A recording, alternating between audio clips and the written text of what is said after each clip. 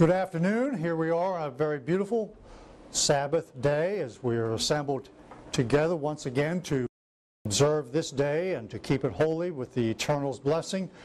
It is good to be able to see all of you here this day and to get, deliver an, uh, this sermon to all of us. I am appalled at, the, at what has been said this past few weeks when it comes to the problems in this nation. No one seems to want to take credit for the downfall in the economy. No one wants to seem, seem to take cr credit for the immigration problem or any other situation in this country. It's not my fault. In fact, I've been told that it was because of the Arab uprising that we're still in a recession. Or maybe it was because of the tsunami that wiped out Japan's nuclear power plants and limited the amount of parts that we were receiving. That's what caused this nation to, to continue to be in, in an economic collapse. It's everybody else's fault, but it's certainly not mine. And I was appalled that the leader of this great nation would come to those term terminology would say that that he was not responsible. The president is not responsible for the direction of the nation. Isn't he the chief CEO? Isn't he the executor? Isn't he the one who's in charge to see that the laws are carried out and, and enacted and obeyed and upheld? Surely Someone should take the blame, right? But no. We live in a generation where no one wants to accept blame for anything that goes wrong. It's not my fault. It just isn't. It's the way I was brought up. Am I to blame my parents? Am I to blame somebody else? Maybe, but not me. I'm innocent. In fact, I'm perfect. The decisions that I make are always right. The situations that I see are not because of what I've done.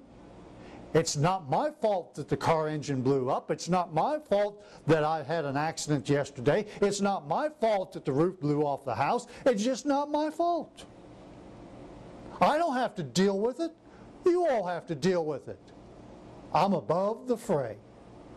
I'm above the riprap. I'm above all that's around me because I'm the king. Is that how we're supposed to act? Is that how we're supposed to conduct our lives? To always point the finger at somebody else? Always look for someone else to blame? Well, it seems like that's the foot that mankind got off on many, many years ago, nearly 6,000 years ago. Because God created Adam and Eve. He began this plan of salvation where mankind would have the opportunity to be born into the family of God, to be a part of His creation. Not this physical creation forever and ever, but to be in His spiritual creation. To be a child, a son, a daughter of God Almighty, the Ancient of Days. He's the creator. He's creating you and me to be born into his family. He started with Adam and Eve. And all things was well until that upright creature came by and enticed Eve to eat of the forbidden fruit. Don't eat of the tree of the knowledge of good and evil. Eve did, gave it to Adam, he ate, and who did they blame? Who did they blame? God came to Adam. We know the story. God came to, came to Adam. What did he say? It's not my fault. It's what God heard from Adam's voice. It's not my fault. Well, whose fault is it?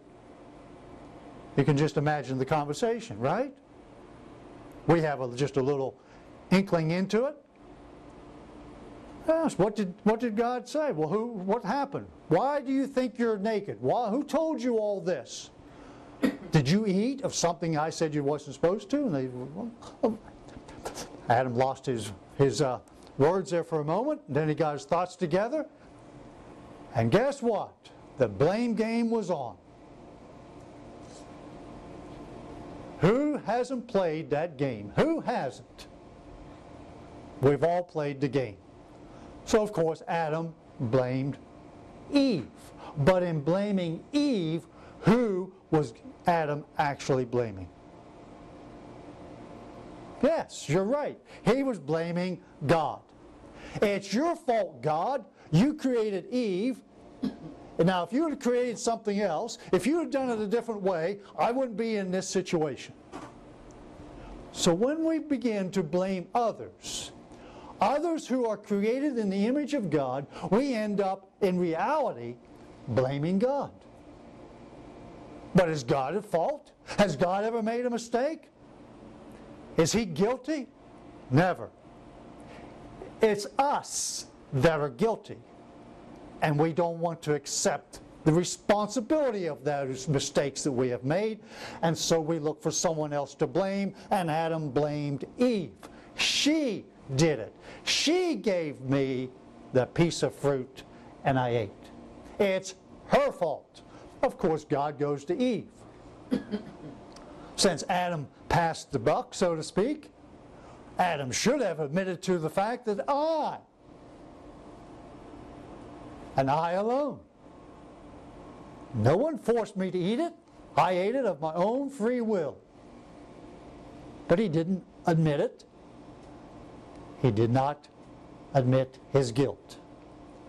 Eve. And poor Eve, what's she going to say? Well, she says, the serpent beguiled me. And that's exactly what the Bible says Eve was deceived. She allowed herself to fall into deception. Adam was not. He knew better. Eve was deceived. Because the serpent, that is Satan speaking through this upright creature, spun a story, a tale, a yarn that was a mile long and sounded good.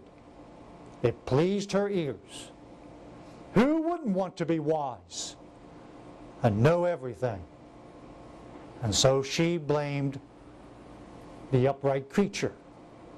And as the jokes goes, that serpent did have a leg to stand on. That's what happened. Legs got cut out from underneath that upright creature. Of course, they were guilty before God. And mankind has played that game ever since. It's part of human nature. It's a part of who we are. Because without God's Spirit, that's exactly what we do. When we have a fender bender, it's not my fault. It was the other driver's fault even when the evidence is plainly clear that I'm the one that made the error. It got so bad in the United States with insurance companies that they finally said, we've had enough of this. So they come up with the term called no fault insurance. We'll pay for your accident, and the other insurance company will pay for that accident, and there won't be this suing among the companies. No fault insurance. Because before that, turn in the claim, the insurance or the person's insurance company would go then and sue the other insurance company for the for the amount of damages. So they said no fault. We don't want all that legality. Don't want it. Too much of a hassle. So it's nobody's fault when there's an accident. It just happened. The stars were turned in a certain direction, aligned with the moon and all the rest of the universe, and it just happened. I got out of bed on the wrong footing, but it's still not my fault. Had a bad night, but it's not my fault. Well, God makes the point very plain if we turn to 1 Samuel. 1 Samuel chapter 13. We know the story of the children of Israel. At least we should if we're biblically literate. We've been studying God's Word. We understand their exodus out of Egypt and how they went over into the promised land after 40 years of wandering around, blaming everybody else for their mischief and their misfortune and their, all their mistakes. You can just imagine what Moses had to deal with in trying to bring those people through the wilderness and to the promised land. But Joshua took them over, established them up as a, as a country, as a nation, and God was their ruler. The one we know of is Jesus Christ. He was their king. He was their savior. He was the one that they worshiped. And they run the government. He had set up the priesthood to teach the law of God. But who thundered the law of God down from Mount Zion? It was Jesus Christ, the Word, the God of the Old Testament. So after a while, the people got tired of listening to God. Didn't want God to talk to them anymore. They wanted a king. They wanted someone that they could look to to take their problems to, to, to deal with the situation, just like the other nations. They wanted a man sitting on a throne that would tell them what to do. And so God warned them through Samuel, and they said, No, we still want a king. Here we come to chapter 13 of 1 Samuel. Verse 1 Saul reigned one year, and when he had reigned two years over Israel, he began to build an army. The nation was being afflicted by the Philistines. There was no recourse, so God appointed Saul to be king. He stood head and shoulders above everybody else. He was a gigantic man.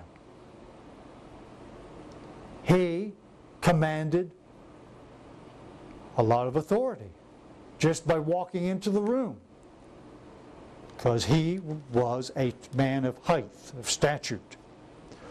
Dropping down here, we come to verse 8, and they're in a quandary, they're in a predicament.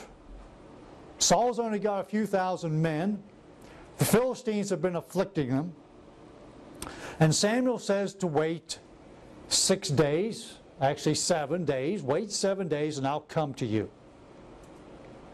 Can you imagine? You've just been king. This is your second year.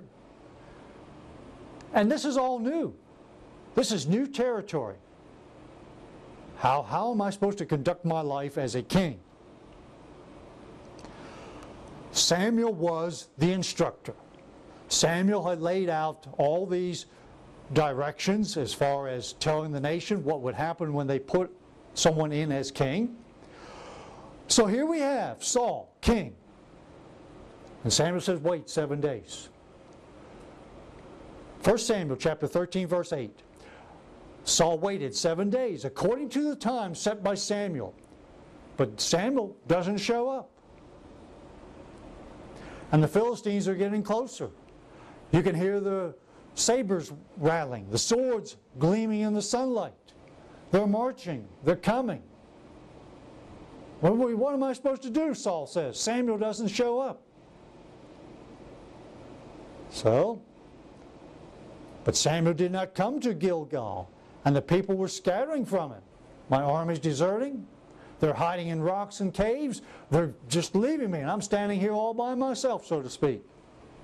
Now, what am I supposed to do? Well, Saul said to himself, Well, okay. And he tells someone, Bring me, bring me the burnt offering. That's it. Bring the peace offerings over here. I'll do it. After all, I'm king. I should be able to handle this situation. So he offered the burnt offering. And as soon as he offers the burnt offering, guess what? Samuel shows up. Was the seven days over? Of course not. No. Samuel came when he said he would come. Samuel's not a liar. He's a servant of God. God doesn't lie. Samuel told the king, wait seven days. Well, he got to the seventh day and Samuel didn't show up, so Saul ran out of patience, ran out of whatever else he could come up with as to stall, and says, I guess I got to do it myself. It's just, it's just like when Moses go up on the mountain of God. And the people said, we don't know what happened to Moses. He's not coming back. Whether it was 10 days later or 20 days later, Moses hasn't shown up. They figure he's gone. It's over. It's history. We need a God. And so Aaron makes a golden calf. Whose fault was it? God was going to kill Aaron. Aaron knew better. And Moses interceded on behalf of Aaron. What did Aaron say? He said, Well, just threw the gold in the fire. I just threw the gold in the fire, and all of a sudden, here's this golden calf. What an excuse! But that's what he said. I'm, I'm innocent. I asked for gold, they gave me the gold, here's the fire, I threw it in, and woof! Magic. Now, he was more involved than that. And Moses knew it, and God knew it, and God was going to kill Aaron until Moses interceded. Well, here's Saul. He takes into his hands that which he's not supposed to do. It's responsibility of the priesthood. It's the responsibility of the priesthood to offer the offerings. Who was the priest? Samuel. Where did he grow up? In the house of God. At Shiloh, the tabernacle, the tent, with the Ark of the Covenant. He was the servant of God. He was God's anointed. He was the intercessor between God and the people, not the king. Oh no. The king and the people were to answer to Samuel because what? Samuel was the servant of the living God. If Samuel said, wait seven days, you wait seven days. The sun sets and it's the eighth day, then you might have a leg to stand on. But you still can't do the offering. No, Samuel did come at the appointed time. Verse 10 Saul went out to meet Samuel and to greet him. Hey, everything's good now. And Samuel says, What have you done? Exactly what God told Adam. What have you done? What have you done? And Saul says, When I saw that the people were scattering from me, and that you, it's your fault, Samuel, you didn't come within the days appointed, and that the Philistines were gathering together at Michmash. I was outnumbered. People were leaving me. You didn't show up when you told me you was going to come. What choice did I have? And I said, the Philistines would now come down on me. Uh, my life's, my life's in jeopardy. I'm going to die. They're going to kill me. I'm the king. They're going to kill me. And I haven't sought God. I haven't made any supplication to God. Did he need to offer an offering to make supplication to God? I don't think so. In fact, I know so. He could have asked God, Where's Samuel? Help me through this ordeal. Help me have faith. What did, was he, what did God give him? His Spirit. But Saul didn't use God's Spirit. He allowed the circumstances around him to dictate to him what he should do, and when it failed, like some other people we know, when things fail, it's not my fault. But when everything goes well, in spite of not having anything to do with it, take all the credit for it anyway. What am I supposed to do, Samuel? Therefore, I felt compelled. I just had to do it and offer a burnt offering. Well, it was against God's law. So Samuel said to Saul, You have done foolishly. You have not kept the commandment of the eternal God which he commanded you. For now the eternal would have established your kingdom over Israel forever. But now it's gone. We always thought, maybe if we hadn't studied God's Word, it was the fact when he failed to destroy all the animals, and I'll get to that over here in chapter 15, that that's when God took the kingdom away from him. No, God took the kingdom away from Saul here, at this very stage in his life. Two years. Two years into his kingdom, and he blows it. He blows it. Why? Because he took matters into his own hands, and when he did it, he blamed everybody else and all the other circumstances but himself.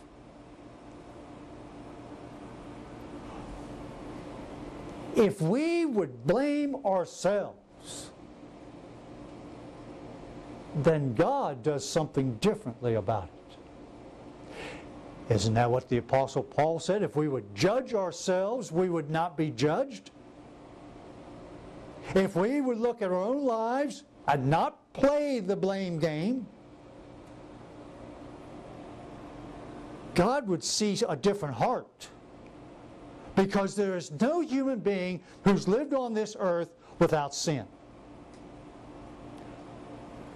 We've all have our faults. It's just that we don't accept responsibility for our faults. If we did, we know this outcome would be different because we, all we have to do, and I don't have time today, is to look at David's life. He sinned against God.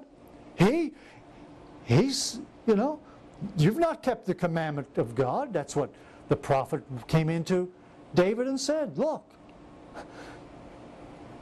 you've not kept the commandments of God. What David said? It's her fault. She was naked. Speaking of Bathsheba, right? It's Bathsheba's fault. She shouldn't be on the roof at night taking a bath or during the day or whenever. It's her fault. No, David did not say that. He says, Against God and God alone I have sinned. He killed Uriah. Saul, David knew exactly what the message was to the general. Put him in the front lines and then withdraw. What are you going to happen? He's going to die. David said, Me, I'm guilty. I'm the one who's guilty. God says, What's the difference in the outcome? Sin's taken away. God's forgiven. True, David then suffered for the rest of his life when his family was fighting amongst themselves, when Absalom threw him off the throne, when a daughter got raped by a step brother that stirred up a lot of grief. David suffered consequences, but the sin was forgiven. Saul suffered consequences, but the sin was not forgiven. Because Saul did not seek forgiveness. He went through an action of penance. He told Samuel oh, on occasions, Don't leave me. Let's put up a big front here. You're still here at my side. Everything will look good. The people won't suspect anything. But God took the Spirit from him and gave it to David. So we come to chapter 15. We come to chapter 15 of 1 Samuel. And in a sense, God's giving Saul another chance, but the kingdom's going to be gone. There was times when kings repented, and God says, okay, it won't happen in your lifetime. It may not happen until the fourth generation.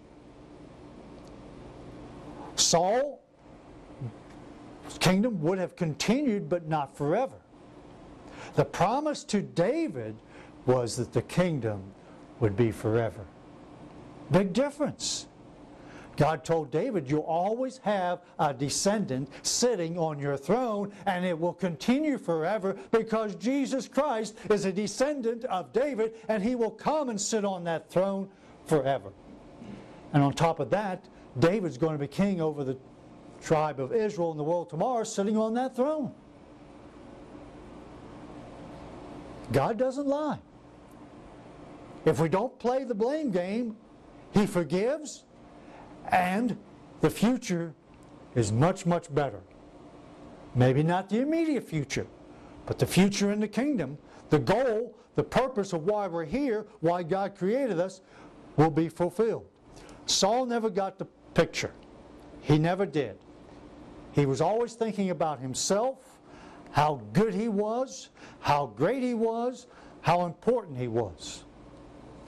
So here we are in chapter 15, verse 1. Samuel also said to Saul, The Lord has sent me to anoint you king over his people, over Israel. Now therefore, heed, heed, obey the voice of the words of the eternal. That's it. That's all we need to do. Wake up, smell the roses, listen to God, and obey Him. Easier said than done. Of course, God told Saul through Samuel, go destroy the Amalekites because of what they did to the children of Israel when they came out of Egypt. Destroy them. Attack them. Wipe them out. Totally. Man, woman, infant, nursing child, ox, sheep, camel, donkey. Leave nothing.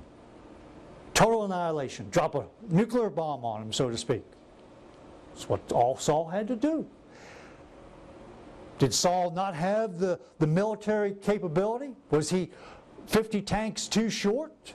Did he have not enough helicopters? Did he not have enough machine guns? Did he not have enough swords, spears, horses, chariots?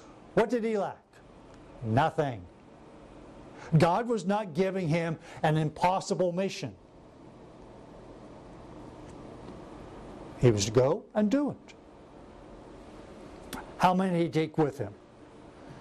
Verse 4 200,000 foot soldiers and 10,000 men from Judah. That's an army. It's almost a quarter of a million. Logistics. How would you like to have to feed that kind of army? There's a lot of logistics into putting together a military might of this strength, but it's what was needed to go and attack the Amalekites.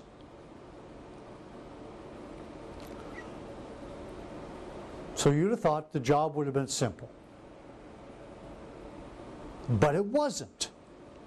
Because the commandment from God did not go any further than to King Saul.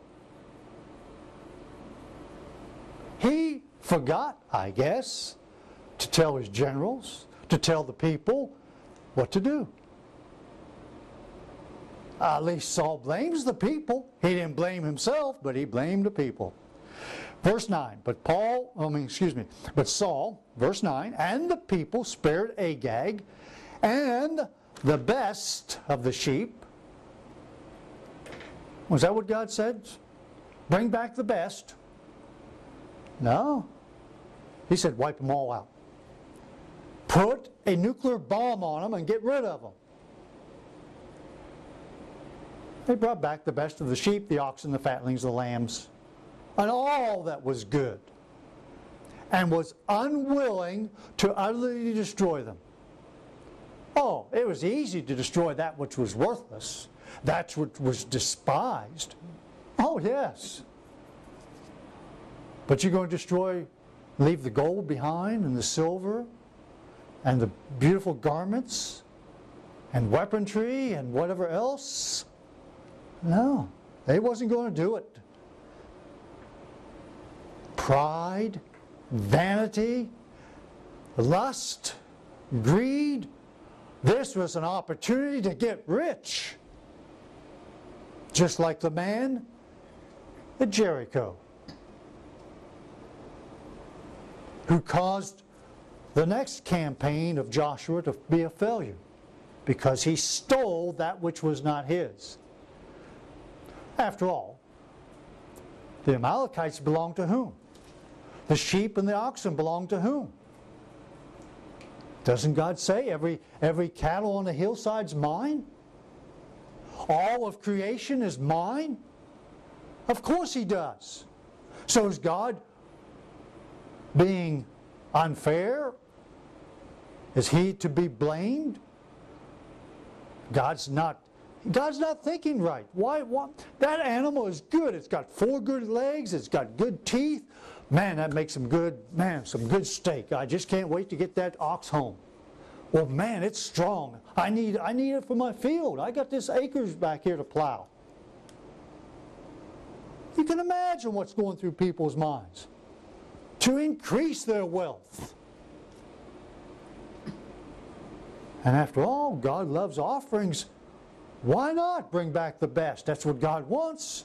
He says when we have a burnt offering or a sacrifice, give the best. So here's the best. Of course, God's seeing it all. And God has to go to his servant Samuel and say, uh-oh, we got a, we got a situation here. Says, I greatly regret.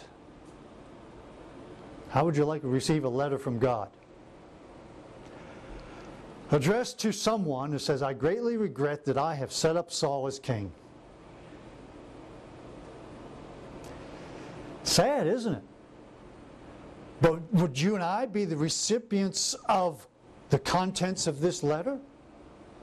Would the letter be addressed to the local minister who has to come to my door and tell me, I'm sorry, Joe, God has rejected you? Well, Jesus Christ is coming back and he's going to separate the sheep and the goats, and he's going to say, The sheep enter in, the goats I reject. Well, God says, I reject Saul. I'm sorry I even set him up. I made a mistake, he could say. God doesn't make a mistake in that way.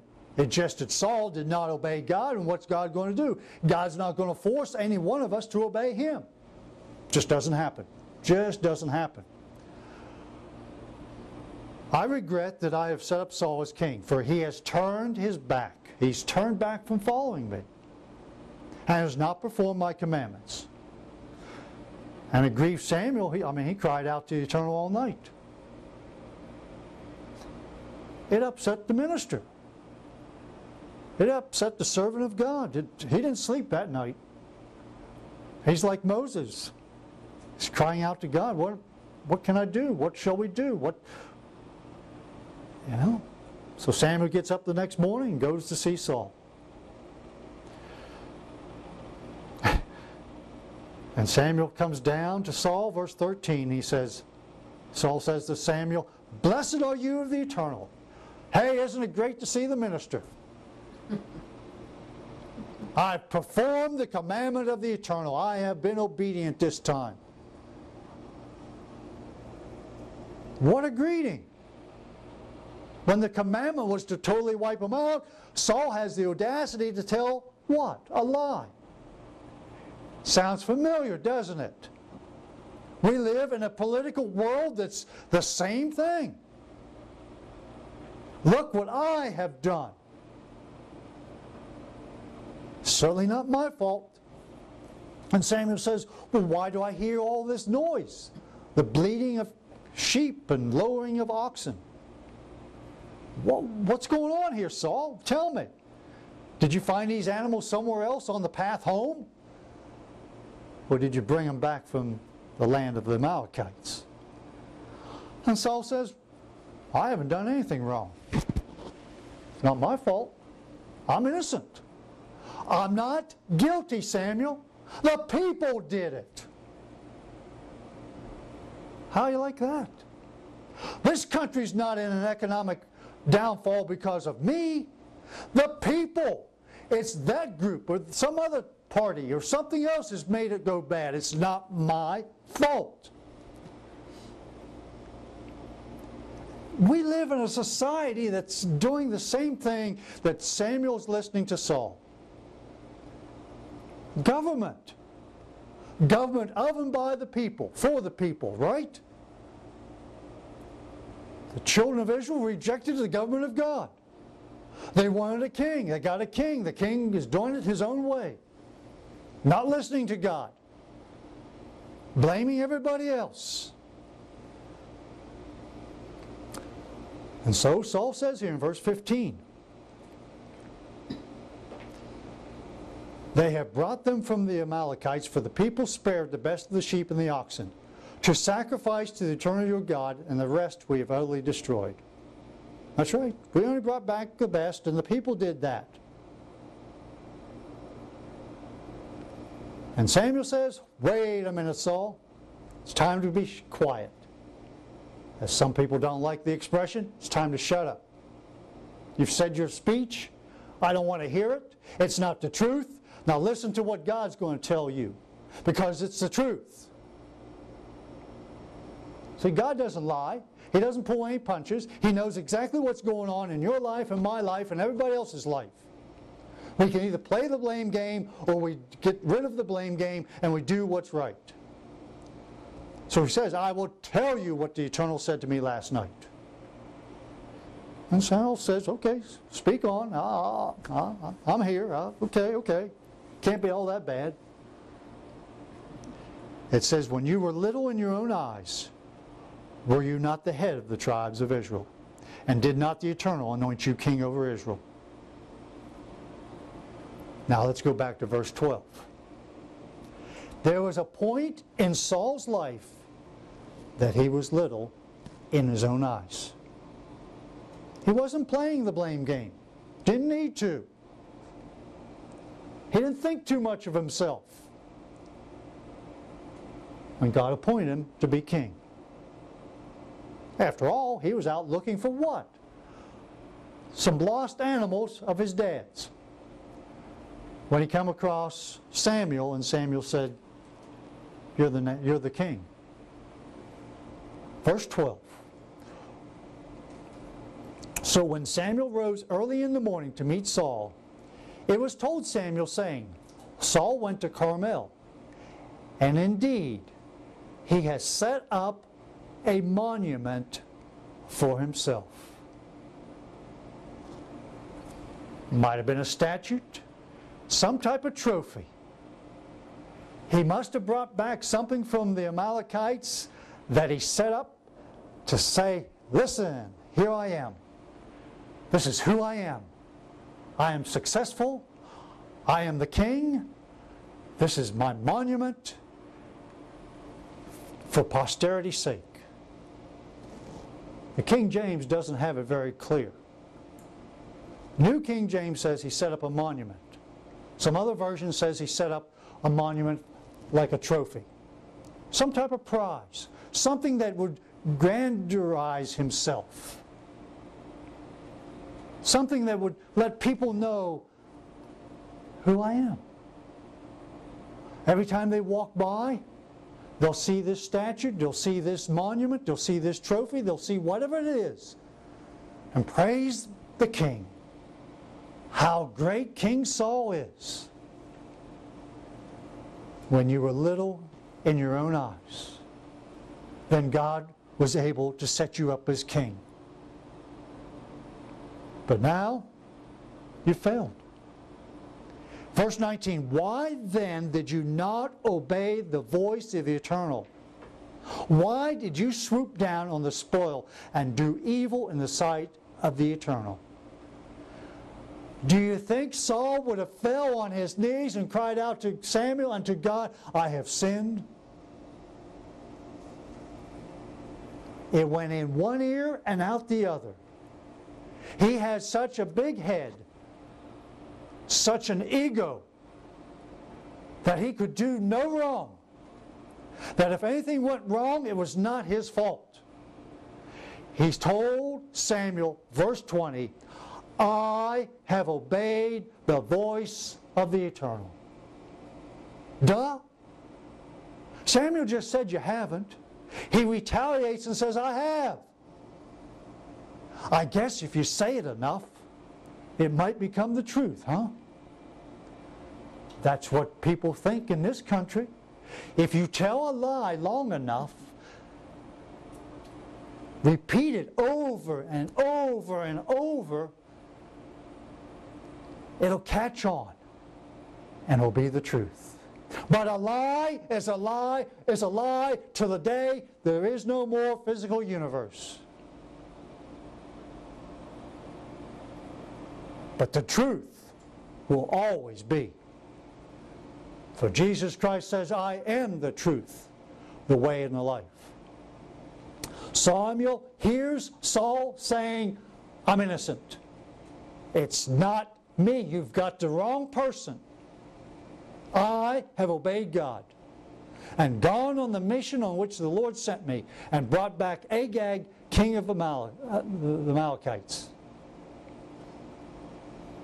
I've obeyed God. The only person I spared was the king. But the people, verse 21.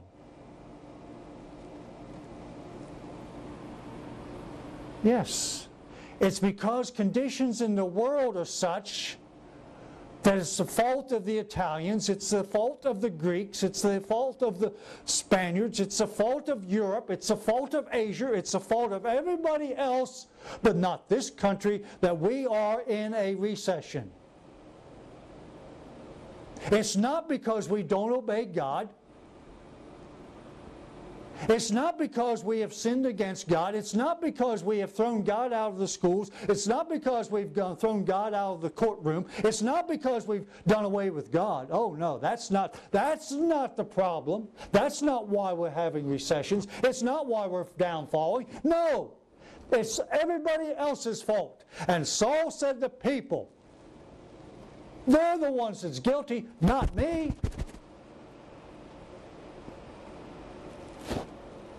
This is dumbfounding if you really analyze it. And to witness it in this nation, this very moment, this very week, this very month. That it's not my fault. So who will we blame? So who are we going to blame? When this nation goes into captivity, who are we going to blame? Well, things will get so bad at the end of the time that people will blaspheme God because God is intervening in the affairs of mankind to spare mankind's life from being totally annihilated. They're still angry with God. People blame God. And they don't want to admit it, so they take God out of the picture and blame everybody else but themselves for not having a relationship with God.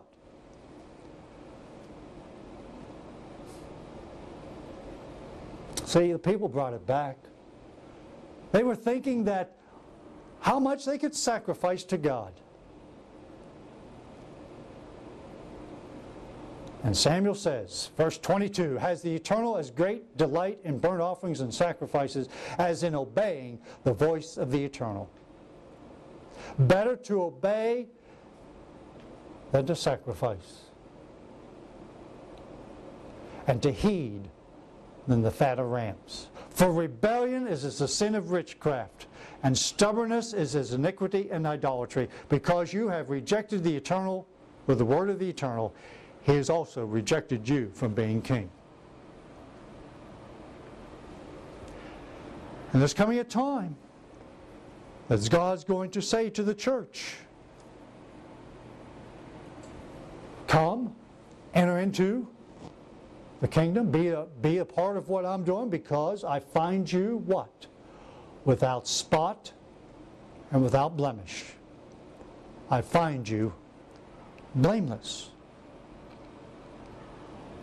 Not because we're not without sin, but that we're willing to admit that we are sinners and that we need God to forgive us and to cleanse us from all unrighteousness. Oh, Saul says to Samuel, I've sinned. Finally, he gets to the point, he says, I've sinned. For I've transgressed the commandment of the eternal and your words, because I feared the people and obeyed their voice. Therefore, please pardon my sin and return with me that I may worship the eternal. He finally realized his hand was in the cookie jar and he got caught. But is he truly repentive? No. No. We may say, oh yeah, I know I've sinned. But go right back into it. Go right back to doing it because it has not been resolved. How many times did Saul transgress the commandment of God? Doesn't say. We have the, at least these two examples. It was enough for him to lose the kingdom. And we know that he died a very terrible death in battle. And that's sad. What about you and me? Let's turn over to 1 Corinthians. 1 Corinthians chapter 1. 1 Corinthians chapter 1. Paul is dealing with a congregation that has some very deep spiritual problems. There's divisions, there's fornication, there's judgment, people running around judging each other, there's gossip, there's backbiting, you name it, it's happening. This is the church in Corinth, in the great country of Greeks, where everything goes, where everything's allowed. This is the new age. We need to experiment. We need to find our inner selves. We need to have different kind of relationships. This is Corinth. The new world. The new opening. The coming out of the closet. This is it. And this is the church Paul has to deal with. It's not any different than today. He says, I thank my God, verse 4, always concerning you for the grace of God, which was given to you by Christ Jesus. How many times did Samuel plead with God on behalf of Saul? He cried all night on many occasions. And one time God says, I'm sorry, Samuel, I made a choice, I made a decision, it's going to stand. Now get up off your bed, stop crying, there's work to be done. Go to the house of Jesse and anoint one of his sons to be king. God has looked at the world. He spared Noah from that first world. He sent his son to establish the church, and he's looking at you and me. And Paul says, I thank my God always concerning you for the grace of God which was given to you by Christ Jesus. That you were enriched in everything by him in all utterance and in all knowledge. We've been given everything. We have God's Spirit. We are truly blessed beyond measure, enriched in everything. Even as the testimony of Christ was confirmed in you, so that you come short in no gift, eagerly waiting for the revelation of our Lord Jesus Christ. Jesus Christ is coming back on a white horse, and his servants will fight. The kingdom will be established. But not everyone who says, Lord, Lord, will enter into the kingdom. Not everyone who proclaims the name of Jesus Christ will enter in, but those who are obedient to the Word of God. Verse 8 Who will also confirm you to the end, that you may be blameless in the day of our Lord Jesus Christ. For God is faithful by whom you were called into the fellowship of his Son, Jesus Christ our Lord. We are to be found blameless. Saul was not blameless. David was not blameless. They were both guilty before God. Adam and Eve were guilty before God. They were not blameless. You and I, as the servants of God, are to be blameless, without blame. So that when God looks at us, He doesn't see our faults. They're gone. Because He's removed them, He's wiped them out. And we appear before Him blameless. But if we're playing the blame game, we won't be found blameless. As you judge, so you will be judged. If you extend mercy, you shall receive mercy. If you blame, then I will find you without blame, or with blame, not blameless. I will find you with blame. You will be guilty as charged. Very serious. Very serious. Are we blameless? 2 Peter chapter 3. 2 Peter chapter 3.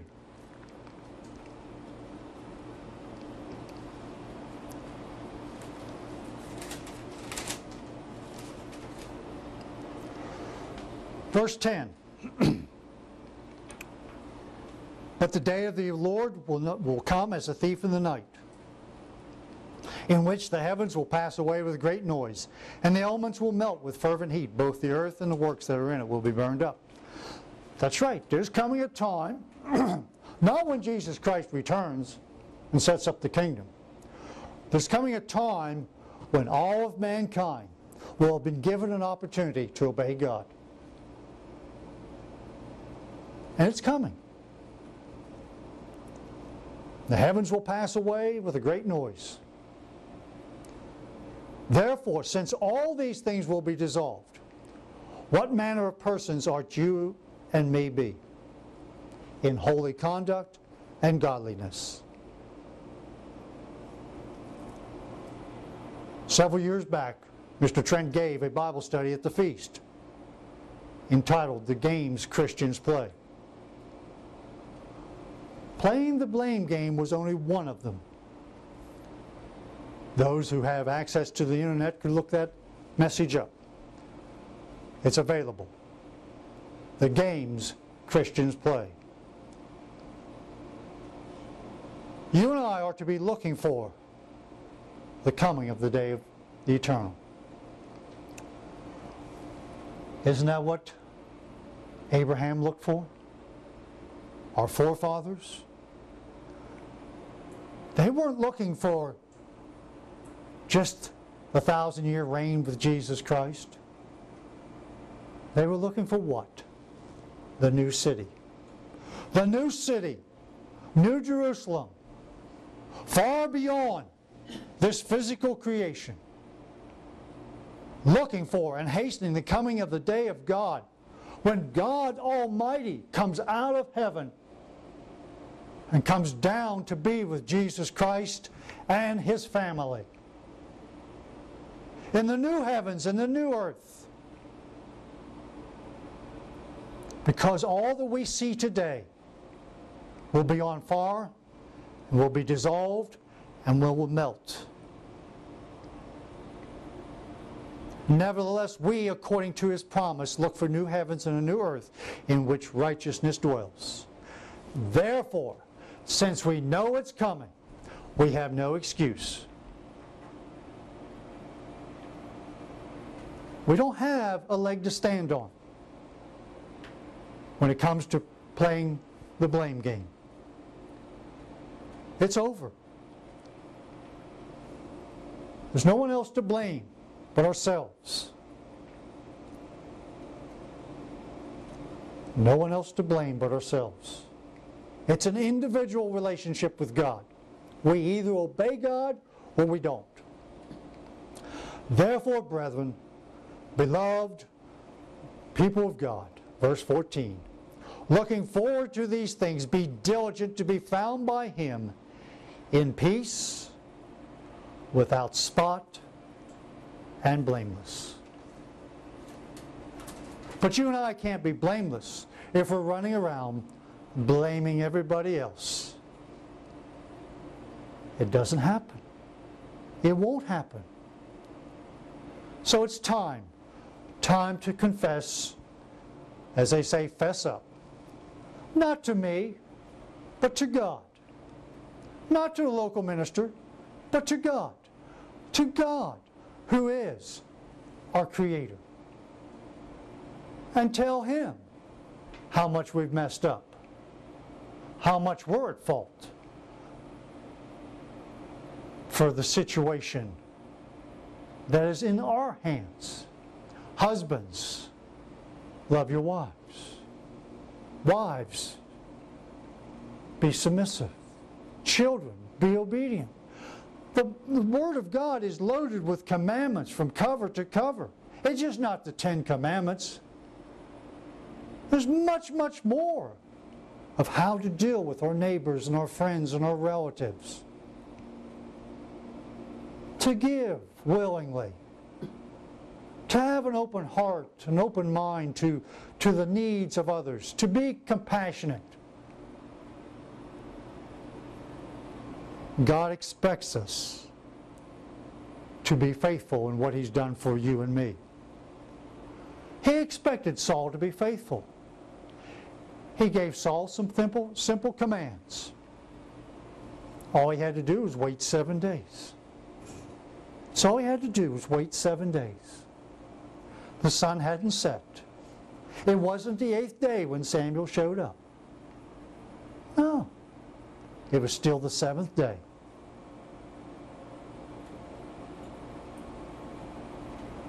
That's all we need to do. God hasn't expected us to move the earth and put it somewhere else in the universe. He doesn't expect us to cause the sun to shine.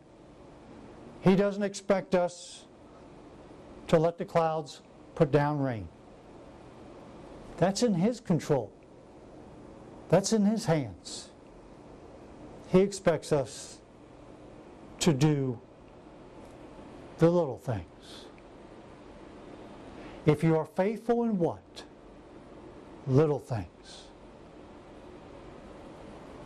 Then you'll have authority over much things, greater things. But it's the little things. Don't eat of that fruit. It was no earth shaking commandment. It didn't move mountains. It simply said, don't eat. Wait seven days. Go kill everything. Spare nothing.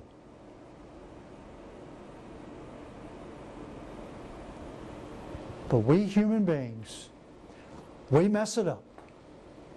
We can't do the little things.